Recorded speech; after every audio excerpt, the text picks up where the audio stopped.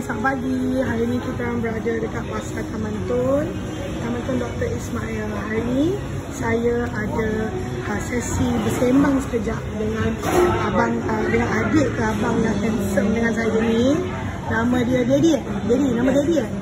Daddy, okey. Diorang ni uh, apa penjual daging lembu Kambing ada tak? Ke lembu tu? Sama, daging lembu Dan kedai ni terletak dekat Taman Tun di pasar Taman Tun Dr. Ismail Dan kedai nombor dia TS67 Okay, hari ni apa yang saya nak sembang dengan Daddy ni Saya nak tanya dia berkenaan dengan daging Sebab ramai orang perempuan tahu beli daging Tapi tips-tips macam mana nak masak daging Dengan orang kata teknik yang boleh bagi daging tu sedap, empuk kita kena tanya pakar daging. Jadi, okay, hari ni akan nak tanya macam daging ni jadi jual macam-macam bahagian kan? Pejal, apa tu, batang pinang, uh, rusuk daging kisar lah apa semua tu betul? Sekarang nak tanya, kalau lah nak buat asam pedas, nak buat kari, daging tu kalau nak bagi empuk, nak bagi uh, dia tak liat, apa dia punya tips dia? Cara potong pun boleh juga tak? Cara potong macam mana dia ni? Nak pakai daging macam ni ke ni? Ni, ni daging apa dia ni? Ni daging kejap. Ni daging pecah. Oh ni bukan batang pinang kan? Ah bukan. Okey, macam ni kita nak tahu daging ni fresh ke tak? Ni fresh tak dia? ni fresh kan? Kalau fresh, selalu apa dia punya tips nak tahu dia fresh ke tak? Kalau dia merah macam ni dia fresh agak. Tapi kalau dia tak kuat kalau tak fresh dia agak gelap sikit lah. Oh ya. Ha, So kalau macam ni fresh. ya. Pasal aku nak tanya, ni semua urat dia kan? Betul? urat dia. Ha, so macam mana dia ni? Kalau orang yang beli, dia beli seketul macam ni.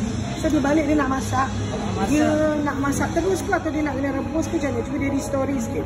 Kalau nak rebus kena potong dulu tak? Potong tak? Potong tiga ke, potong empat tu. Okey, lepas tu Lepas tu kalau nak potong masak kecil-kecil tak? Kecil nanti dia macam ni urat dia kan? Macam mana urat dia? Ha, dia urat dia ikut macam ni. Potong lintang macam ni. Oh, dia kena lawan Ha, urat eh? lawan urat. Dia Oh, urat dia ni. urat maksudnya uh, macam garisan atas daging. Ya. Tapi ni kalau posisi macam ni, kalau tepi macam ni, macam ni kita nak tahu ni, tepi dekat sini. Tapi macam ni. Ha, mana urat dia? Oh, pendek kata kena cari urat dia eh. Jadi boleh tunjuk sikit tak? Kalau besar macam ni contohnya untuk kaum wanita yang tak pandai nak potong daging Sebab kalau salah urat dia akan jadi macam mana? Susah nak lembut kan? Boleh juga. Uh, dia keras. dia jadi keras. Kalau rebus pun tak tak tak, tak seselembut macam kalau ikut urat. Yalah. Boleh juga lembut tapi kena lama rebus lah. Dah lama rebus kan. So kalau tak nak lama rebus macam mana Didi? Cuba tunjuk sikit Didi. Kena potong dia. Ha, boleh tak? Share sikit. Okey, pertama kena tengok urat ni eh. Betul? Ha, urat macam ni kan? Macam ni. Ni macam ni kan? Ha, okey, okey. Kita potong ambil macam ni lah. Kita ikut lawan uh, kita ikut urat tu punya garisan atau kita lawan? Pertama kita ikut dulu macam ni. Lepas tu kita potong kecil, kita, kita lawan macam ni. Oh, okey. Sebenarnya aku pun baru tahu. Saya pun baru tahu ya uh, cara-cara macam mana nak potong daging dengan betul. Okey, maknanya kalau besar ikut urat, bila nak potong kecil lawan urat. Ya. Oh, okey. Kalau tak ikut dia lambat lah. Ha, lambat agak. Oh, ni daging pejah. Kalau uh, macam mana nak tahu batang pinang dengan pejah? Selalu orang akan tertanya-tanya mana satu Okey. batang pinang. Betul ke ni batang pinang? Macam mana nak tahu dia ni? Baru pinang dia tak? Boleh tak tunjuk sampel sikit batang pinang yang mana? Kalau batang pinang, urat dia macam ni. Dia agak lembut sikit tak? Sama je saya tengok urat dia ni. Urat dia sama. Tapi bila kita macam. Daging biasa orang batang pinang. Kita pegang pun tak. Dia lembut, ha, halus. Oh, dia dia tekstur dia lain lah. Halus, kasar. Oh, itu kalau nak elak daripada kena tipu eh.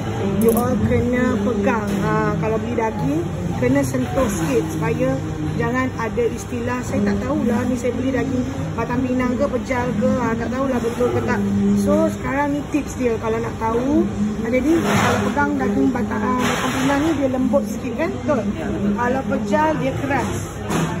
So ni perbezaan antara pejal dengan batang pinang. Pejal selalunya orang apa yang sesuai nak masak dia. Lebih makanan goreng ke berkuah. Ha, selalu masak rendang, kari, Rendang kari. Sup semua tak sesuai lah kan? Sup pun boleh juga. Sup pun boleh. Kalau batang pinang, selalu orang masak apa jadi? Buat steak, goreng-goreng, Steak goreng-goreng kan? Kalau dalam masa orang putih, batang pinang ni apa eh? tenderloin. Tenderloin. Tenderloin. Ya? Ah, pejal, pejal lah. Dah. Oh, okey. Okey, uh, saya tak nak ambil masa yang lama. Cuma last saya nak tanya Daddy. Kalau nak buat sup eh, apa beza tulang ni dengan bahagian tu? Mana yang lebih sedap? Ini kan lagi sedap. Lagi sedap inilah kak. Kalau ah, ini banyak isi.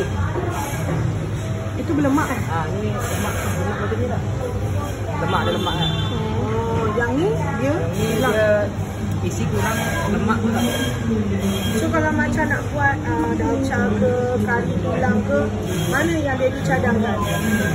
Kalau lagi sedap ni kak. Kepada kuala sedap. Ni lebih sedap? Lagi sedap. Oh, bukan yang tu. Tak. Sebab? Kalau kalau ini kalau ini lagi sedap dia buat bakar. Oh, ni bakar. Bakar lagi sedap. Oh, buat macam asam pedas tulang Ah, ke, memang ambil yang ni. Tapi ni tak diisi. Ya selalu macam kak yang sedap. Tapi kalau ini dia buat bakar sedap. Lebih bagus. Ah, Tapi kalau campur pun okey. Kalau campur lagi boleh lah. Oh, macam tu eh. Okey, jadi sebelum uh, akak nak orang kata uh, tutup case interview Daddy hari ni tips. Ada tak uh, nak bagi tips sikit uh, untuk orang datang beli daging, daging batang pinang? Eh, bukan batang pinang, limau menangis. Orang KL banyak tak tahu apa limau menangis. So, Daddy share sikit limau menangis tu apa dia punya keistimewaan? Lemak dia. Lemak. Lemak. Lemak dia dengan daging dia. Ada tak con, uh, daging batang limau menangis kat sini? Ada tapi dah habis tak? Langsung tak ada. Sikit pun tak ada. Uh, so you all yang mana yang daging limau menangis selalu masak apa sedap?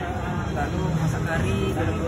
Ha, untuk yang tak pernah cuba limau menangis, boleh hubungi Daddy untuk tempahan dekat nombor 017 339 5181. Okey, itu senarai harga kat situ tapi rasanya um?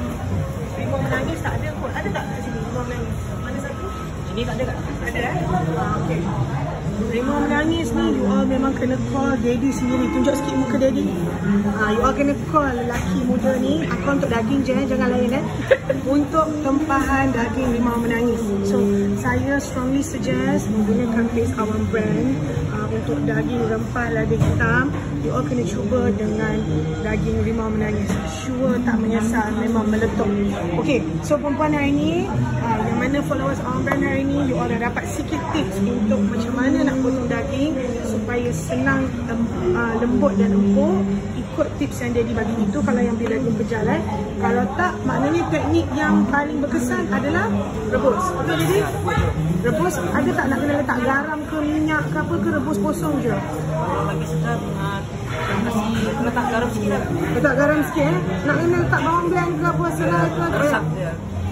Ada tak nak letak bawang ke serai ke untuk tak payah letak garam je. Ha, itu dapat membantu untuk bagi daging tu lembut ok jumpa lagi. So apa-apa you all boleh follow instagram our brand untuk dapatkan tips macam mana nak potong daging pejal ok daddy nak cakap apa-apa sikit tentang kedai nak mengalu-alukan orang datang ke kedai daddy? Cakaplah sikit. Alamak malu pula. So siapa-siapa yang nak daging murah, sedap dan fresh boleh datang ke kedai kami setiap hari uh, Selasa sampai hari Ahad. Hari Isnin kami cuti sebab Covid. Semua itu je lah. Kalau ada apa-apa nak beli boleh terus telefon Dini. terima kasih